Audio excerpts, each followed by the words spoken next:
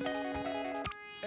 Losing in mixed martial arts is just part of the journey. Unless you're Khabib Nurmagomedov, then it's not part of your journey. But for everyone else, including the all-time greats, losses can and do happen. This isn't a sport that lends itself very well to staying unbeaten when in an instant a bout can end. Normally, the losses the best fighters in the sport suffer are to other fighters of equal caliber. But on occasion, a loss sticks out like a sore thumb on an otherwise nearly flawless record, and today we're going to explore 10 such defeats that when looked back at knowing how the two competitors' careers would play out, makes you scratch your head figuratively and say, how in the hell did that happen? I'm Tommy from MMA On Point, and these are 10 baffling losses in epic fighters' careers.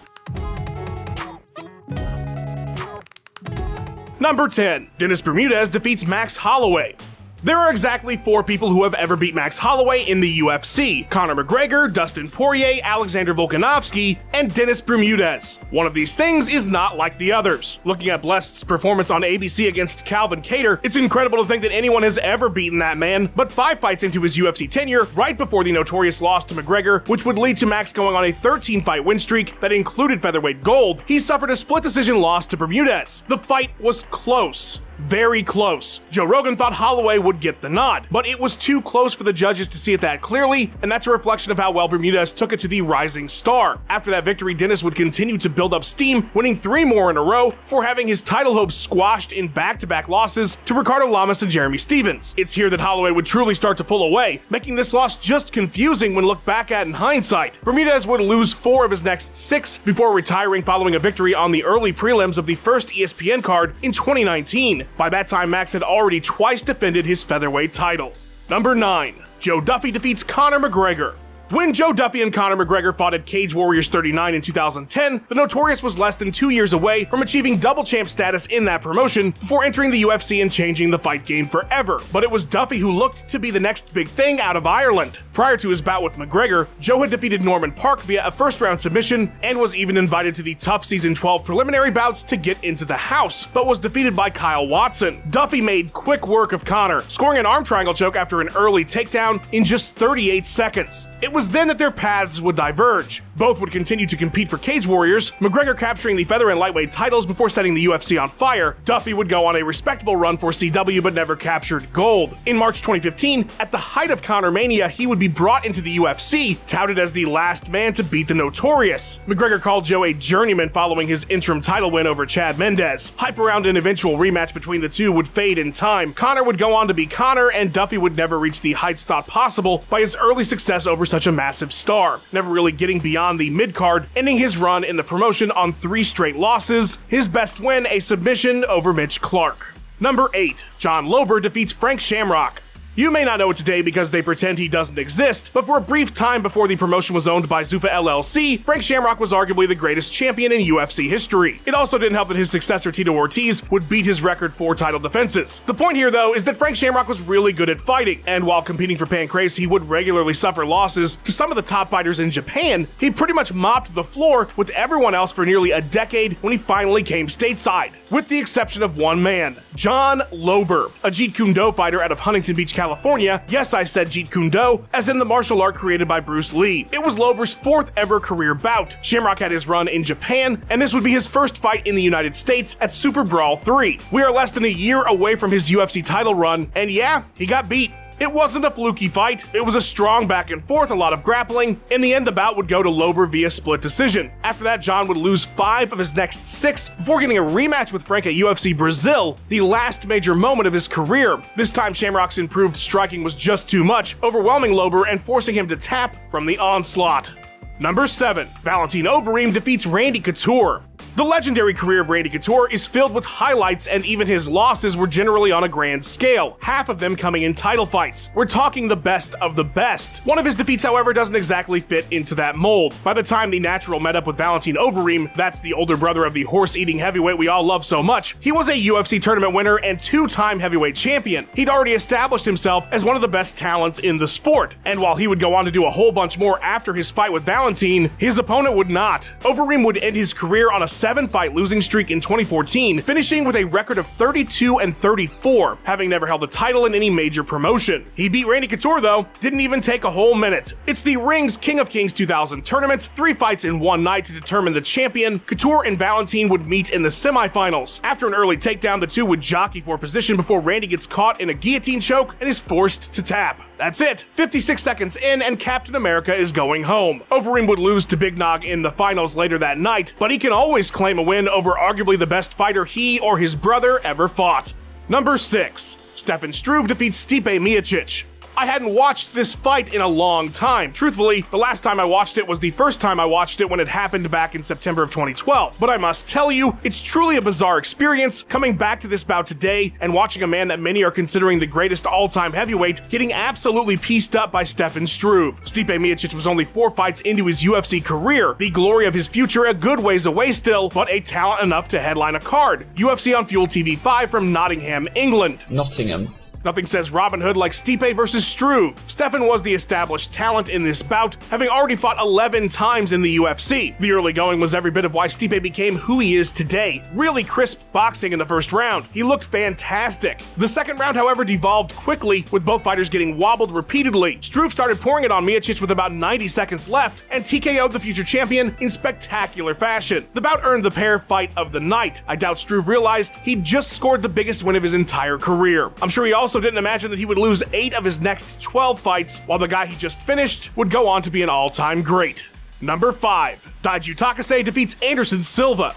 When you watch Pride 26 and see Anderson Silva lose via a triangle choke eight and a half minutes into the first round to Daiju Takase, you are seeing the absolute low point of his entire career. He'd lost before, he'd lost since, but nothing like this. His first ever defeat was in his third pro fight. He barely knew what he was doing. The loss to Ryo Chonan, an absolute Hail Mary submission. Yushin Okami, an illegal upkick, Silva defeated himself. After that, you're going to have to wait until Chris Weidman dethrones the middleweight king at UFC 162 to discuss another loss. The Spider was expected to walk right through Daiju Takase. Anderson had won three straight in Pride, he was a Chute Boxe fighter, Vanderlei cornering him for this bout. Takase's big claim to fame was beating the 600 pound Emmanuel Yarbrough. He came into the Silva fight with a record of 4 7 and 1. He would end his career 12 15 and 2. Make no mistake about it, his domination of Anderson is without question the first story he's telling his grandkids when they ask about his fight career. Silva got in virtually no offense before the embarrassing submission finish. The loss was so devastating, Anderson was going to quit the sport had the Nogueiras not convinced him to continue. Daiju Takase almost ended one of the greatest fighters of all time's careers. If that doesn't make him worthy of this list, I'm not sure what does.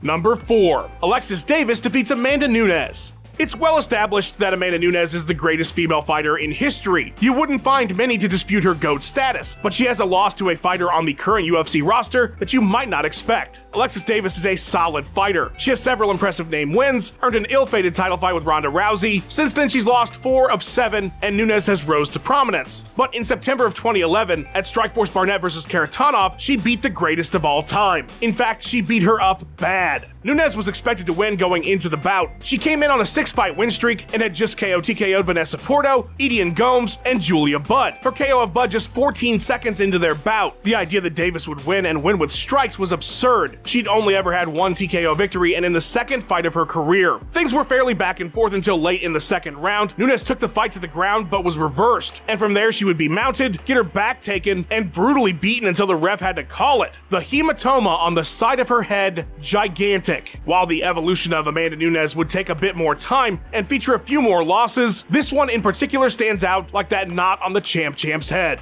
Number 3. Brad Pickett defeats Demetrious Johnson.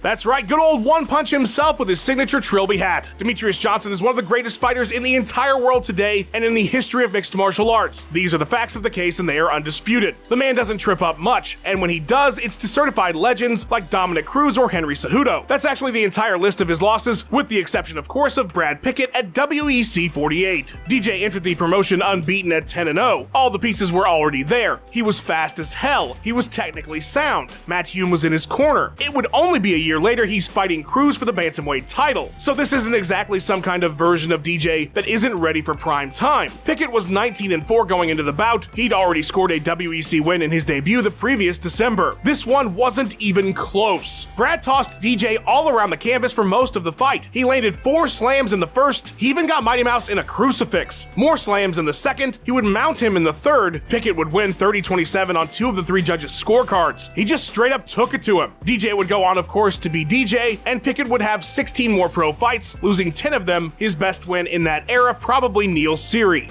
Number 2. Matt Serra defeats George St. Pierre. Without question, the most famous entry on our list, it's one of the greatest upsets of all time. George St. Pierre had finally gotten over his awe of Matt Hughes and captured the welterweight title. His legendary run as champion, and one of the all-time greats the sport has ever seen, was set to begin, but for a single hiccup at UFC 69, the last time GSP would ever taste defeat. Matt Serra wasn't supposed to beat St. Pierre. He normally would have had no chance to even fight him. With a UFC record of 4 and 4, Serra wasn't exactly setting the sport on fire before the Ultimate Fighter comeback season. TUF 4 was a unique chance for those who had struggled in their career to have a resurgence, not only on the popular show, but in a title fight should they win the tournament. And Matt Serra did just that, defeating Chris Lytle in the finals. Everyone knew that Matt had a world-class deadly ground game, but it was believed that St. Pierre would keep the fight standing and light up the shorter fighter. The champion was about a minus 500 favorite at the start of the horn, but that wouldn't last long. GSP completely underestimated Serra's ability and power, getting clipped early, never recovering from a barrage that would finish the champ about midway through the first round. I get goosebumps no matter how many times I watch it. GSP would refocus and reclaim his title in their second encounter, but you can never take that moment away from Matt Serra.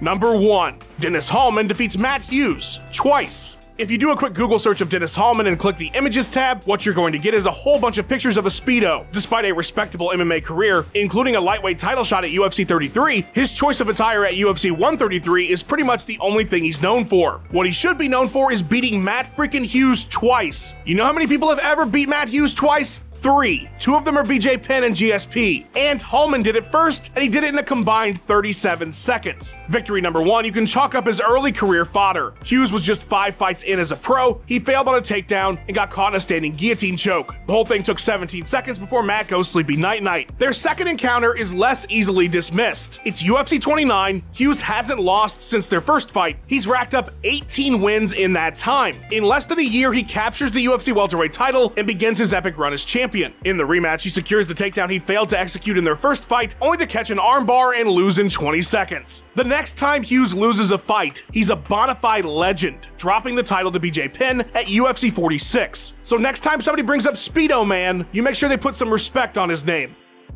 Huge shout out to Max Randall for editing this video together. Follow him on Twitter at Max underscore Randall. A big, big thank you to Ben Rosett, who provided that sweet tune you heard in the intro. Check out his music by clicking the link in the description and go give him a follow on his Instagram and Twitter page at Ben Rosett.